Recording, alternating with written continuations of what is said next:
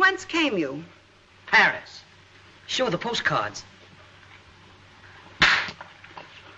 And what were you doing in Paris? Oh, looking over the parasites? She literally swept me off my feet. Boy, am I in love! Oh! You ain't heard nothing yet. My romance started on the Rue de Schlemiel in Paris. I was anxious to see the Paris sights.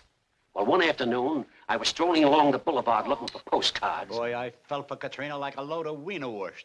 You guys were having fun, but with me it was serious. I wasn't leaving Paris. That's where I met my Fifi. She used to show me the Paris sights. Well, we used to meet every day at a little French cafe on the Rue de Schlemiel. Well, one day, Two orders of everything for one man? no, you see, I'm, I'm expecting. Eh?